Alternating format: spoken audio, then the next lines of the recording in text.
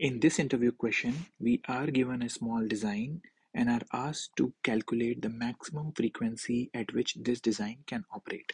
Now, we know that the frequency is 1 upon time period, so let's go from there.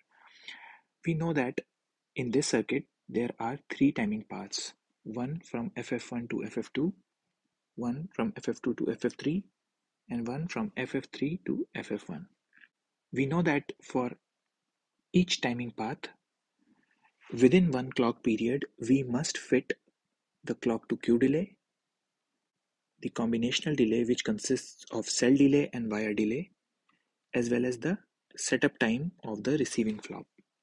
So if we write the equation for all three flops, for FF1 to FF2 path, we have the clock-to-Q delay of 50 plus the combinational delay of 430 and the setup time of 20 which is 500. So 500 is the minimum clock period which is required for this timing path to work correctly otherwise there will be setup timing violations.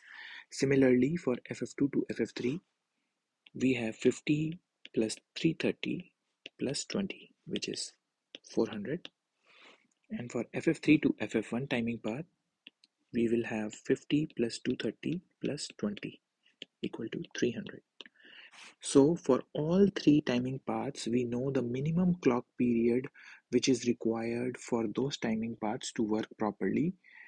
If the clock period is any less than these numbers, there will be a setup timing violation on those paths. So based on these three paths, we know that the slowest path is the FF1 to FF2 path. So to calculate the maximum frequency at which this design can operate, all we need to do is 1 divided by the clock period required for the slowest timing path which is 500 and we get our maximum frequency which is 2 gigahertz. So if we apply a frequency of more than 2 gigahertz then the first path which starts to fail is the FF1 to FF2 path and we will see setup timing violations on this path. So 2 gigahertz is the maximum frequency at which this design can function reliably.